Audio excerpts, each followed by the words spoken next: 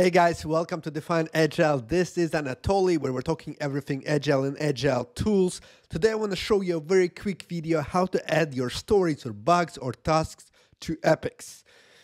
It is not that tricky, so it will take a couple minutes. Before we do, I have a couple things I want to tell you. Thing number one, since you guys watching this video, you're probably just starting out with Jira. If you want to learn Jira in just about eight hours, go to the link in the description to my course, and you can literally learn Jira from beginner to advanced in about eight hours. And then if you guys are stuck and you need somebody to sit down with you, solve your problems on Agile, on Jira, Kanban, Scrum, help you as a Scrum Master, a project manager, a CEO, please go to the description and schedule a time with me in my calendar. We will sit 101 and I'll be happy to help you.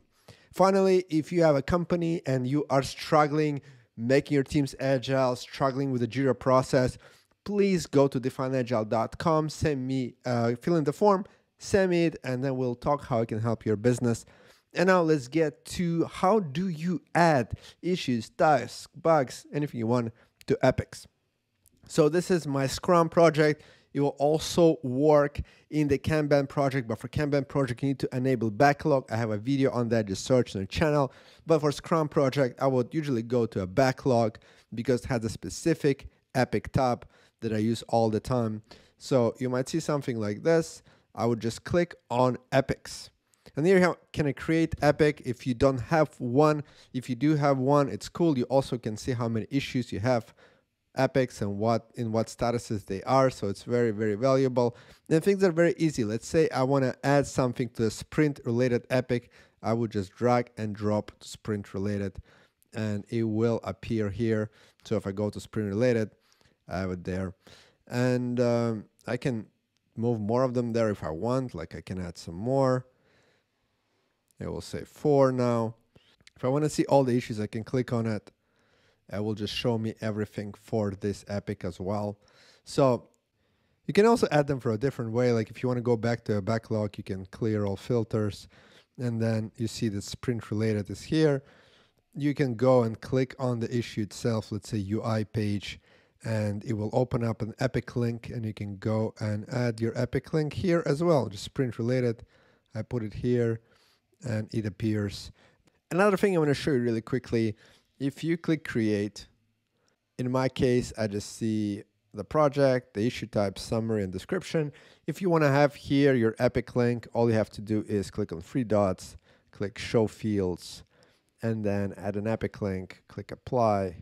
So here's your Epic link, and then Epic link test, and then you just say sprint related, let's say. Click create, then we can view the issue. Here we go. I have some statuses that are not really working very well. So that's why I don't see it in the backlog. But you don't have that issue, so you will see it in the backlog. So Epic Link Test is here. You can also do the same through Epics. You can just say create issue in Epic and then you can just say create issue in an epic I'll call it this way. You click create. Oh made a typo but it's okay. So I can view that issue. For me to appear in the backlog which you don't have to do I just have to change the status. And then if I go back to my backlog which you don't have to do, it's probably appear for you right there create issue for an epoch, EOUC. So essentially, those are the ways how you can create your add your issues to Epic. Uh, with creating stories, with looking at Epic stuff. So hopefully it helps. If you have any questions, please let me know. If you think that video brought you value, please like and subscribe because this is how we can spread to more and more people. Thank you for watching. Talk to you next one. Bye bye.